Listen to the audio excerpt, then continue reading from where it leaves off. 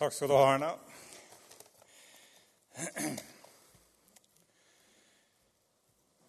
Kjære landsmøtedeltakere, delegater og kjære gjester. Det er en stor glede for meg å få lov til å hilse landsmøtet på vegne av de innenlandske gjestene. Vi som er gjester, setter stor pris på å bli invitert. Eh, vi vet at vi står foran spennende landsmøtedager med debatter, vedtak og gode valg. Og så ser vi at vi er blant venner. Dessuten er det alltid noe å lære. Ethvert landsmøte er som en skole i organisasjonskunnskap og faglig politisk arbeid. Vi blir litt klokere for hver gang. Eh, kjære venner. Eh, det jeg nå skal inn på, vil nødvendigvis tangere noe av det Erna har sagt i sin åpningstale.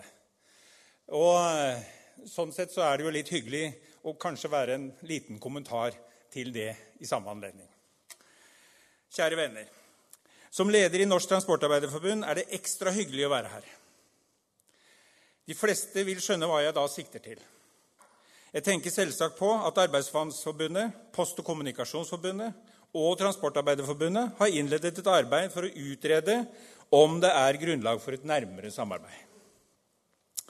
Ingenting er imidlertid avgjort. Utredningsarbeidet skal gå sin gang.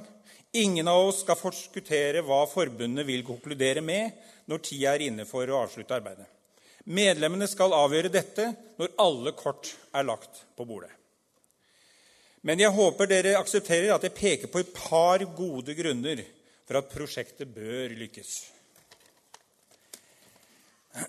Aller viktigst er at våre tre forbund har medlemsgrupper som står hverandre nær, og at vi av og til opplever strid om organisasjonsområder. Det er ingen grunn til å underslå at vår felles LO-familie bruker ganske mye tid på organisasjonskonflikter. Altfor mye tid, vil mange mene. Det kan være mange gode grunner til dette. En av grunnene er at verden rundt oss har forandret seg, uten at vi har fulgt etter med framtidsrettede organisasjonsendringer. Men noen, men, men mener vi, noen mener vi burde få et forbundsløst LO. Dere, Noen av dere iallfall har gått inn for det. Andre er skeptiske til den ideen. Da kan det være mer realistisk at forbund som står hverandre nær, og som er, har sammenfallende interesser, samarbeider tettere. Og så får ungdommen finne ut av hva vi skal gjøre om 15 eller 30 år. Hvis våre tre forbund lykkes, vil det på en måte allikevel være et stort paradoks i Arbeidsmannsforbundets historie. Og Når jeg sier det slik, skyldes det selvsagt at Arbeidsforbundet har en, en veldig spesiell historie og en helt særegen plass i LOs historie. Og hør på dette. Alle forbunds mor blir dere kalt. Årsaken er, som dere sikkert vet, at mange LO-forbund har brutt ut av Norsk Arbeidsmannsforbund en eller annen gang. La meg bare kort peke på at, dette, at etter at forbundet ble stiftet i 1895, har følgende forbund brutt ut av Arbeidsmannsforbundet og dannet eget forbund. Norsk sag-, tomt- og høvleriarbeiderforbund i 1910. Norsk papirarbeiderforbund i 1913. Norsk papirindustriarbeiderforbund i 1914. Norsk kommuneforbund i 1920. Norsk bygningsarbeiderforbund og Norsk nærings- og nydelsesmiddelarbeiderforbund, begge i 1923. Og Norsk tekstilarbeiderforbund og Norsk kjemisk industriarbeiderforbund, begge i 1924. Dere har altså også avgitt store medlemsgrupper til Norsk tjenestemannslag. Det skjedde i 47. Og til Forbund for ledelse og teknikk i 1951. På denne bakgrunn er det vel ikke mer enn rett og rimelig at utviklingen endelig kanskje kan snus. I Transportarbeiderforbundet er de fleste positive til at vi har startet denne prosessen. Men også våre lokale tillitsvalgte og våre foreninger vil se resultatet av utredningen før en bestemmer seg. De vil ikke forandre noe bare for forandringens skyld. Hvis vi skal samarbeide tettere, må det være fordi vi er overbevist om at det på en eller annen måte vil gi oss større styrke og bedre resultater for medlemmene. Medlemmene må alltid stå i fokus. Kjære landsmøte. For oss i fagbevegelsen er tariffavtalen vårt viktigste verktøy. Uten tariffavtaler ville vi alle hatt alles krig mot alle og den sterkestes rett. Det er tariffavtalene som har skapt sivilisasjon i arbeidslivet, som har skapt balanse mellom arbeidsgivere og arbeidstakere.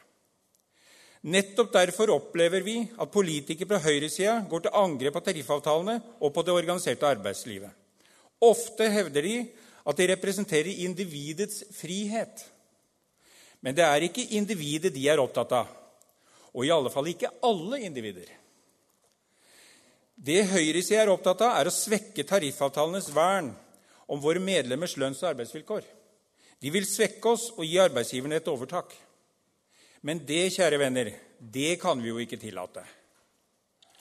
Vi kan heller ikke tillate at vikarbyråene får en slags forkjøpsrett i arbeidslivet. At flere og flere blir innleid eller på, må jobbe deltid eller bare ha en midlertidig jobb. Faste og hele jobber skal fortsatt være hovedregelen i norsk arbeidsliv. Mister vi taket på dette, vil vi tape hver eneste dag. Vi vil også tape hvis vi ikke klarer å demme opp for sosial dumping. Vi må se på sosial dumping som et angrep på våre tariffavtaler og som noe som alltid må bekjempes. Like viktig for oss er arbeidsmiljøloven. Det var arbeiderbevegelsen som fikk loven innført fordi vi trengte et verktøy på arbeidsplassene. Trygge ansettelsesforhold, et godt arbeidsmiljø, er viktig for alle våre medlemmer. Dere husker at den siste Bondevik-regjeringen foreslo en rekke forverringer i arbeidsmiljøloven. Forverringer som den rød-grønne regjeringa reverserte. De borgerlige ville ha større åpenhet for bruk av midlertidig ansatte. De ville ha store endringer i arbeidstidsreglene. De ville gi arbeidsgiverne mer makt på vår bekostning. Fremskrittspartiet har fortsatt som mål å ødelegge arbeidsmiljøloven. Forslaget om å øke den ukentlige arbeidstida med 2,5 time, forslaget om å innføre mulighet for 13 timers arbeidsdag og forslaget om å fjerne alle regler om overtidsbetaling Alt dette er å snu klokka tilbake med flere tiår. På en måte er vi allikevel glad for at Frp har fremmet disse forslagene akkurat nå.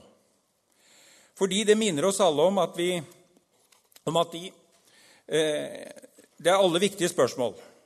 I spørsmål om tariffavtaler, stillingsvern, overtidsbetaling og sosial dumping er det et hav av forskjeller mellom venstresida og høyresida i Norge. Det er som ild og vann. Det er viktig å skille mellom de som vil oss vel, og de som overhodet ikke vil oss vel. Jeg sier dette også fordi vi nærmer oss et nytt valg. Kommunevalget er i seg selv viktig nok, men vi må også se på høstens valgkamp som en oppvarming til den enda viktigere valgkampen om to år. Fagbevegelsen må da ta et ansvar. Kamerater, det er ingen grunn til å gi Erna og Siv noe som helst å feire, verken til høsten eller senere. Kjære venner, lykke til med landsmøtet, og takk for oppmerksomheten.